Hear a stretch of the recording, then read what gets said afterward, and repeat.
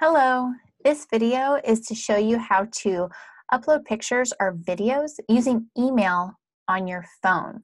Many of you like to take pictures of your art or your work from your phone so that it's easier to get a good angle, but how do you get it from your phone to your Google Drive?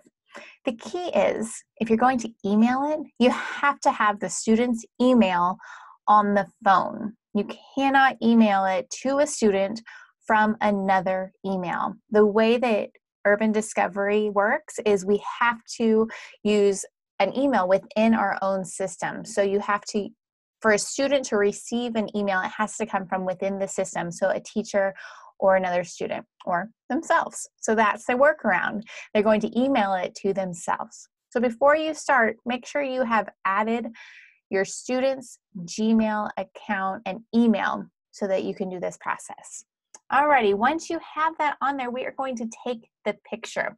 So let's take a look at the best way to take the picture. I have my artwork down here on the table.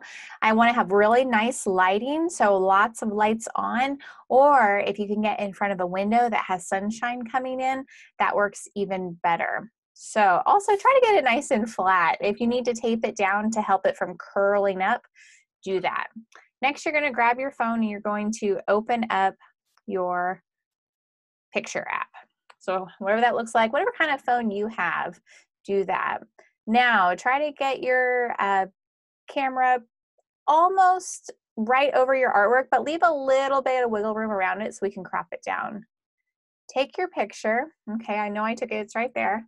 Now, go in and open up that email account. So, for me, I'm going to go to my UDA account, not my own personal accounts, my UDA account, and I'm going to compose a message and I'm going to send this to myself. So it's coming from Jay Rushton. It's going to go to Jay Rushton at Urban Discovery or urbansd.com. And I'm just going to call it picture. And then, however, your phone, however you insert images, do that. I know with iPhone, if you hold and press down oops, I always do this. Hold and press down and then go over, insert photo, select the photo you want. And then once you go to send it, it's going to ask you what size. I tend to just do a medium. We don't need a huge image here.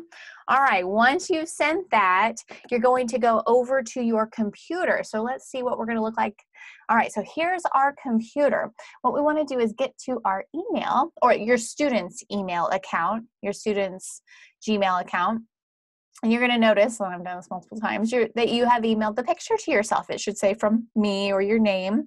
And here's the image. I want you to first just click on the image, and it's going to open up a preview move the picture. And over here you have some options. Um, what I like to do is just add it directly to my Google Drive by using the Google image here, this little triangle. You can also download it to your computer, but then you have to go and find it. So I'm just gonna tap on that. It adds it to my drive like magic. Now we have the image on our computer. So what we do is if you are going into your Google Classroom, find your STEAM weekly assignment that you're working on and move my picture. Over here, you're going to see that we have attached a set of slides in your assignment and it should have your name on it. So once you click on that, it's going to open up this slideshow that says turn in your STEAM work. Okay, pretty simple, pretty straightforward. Whichever activity you're working on, whether that was activity one, two, or three, go to that slide and it says insert picture or video here. All right, so insert, that's your reminder to go over here to go insert image.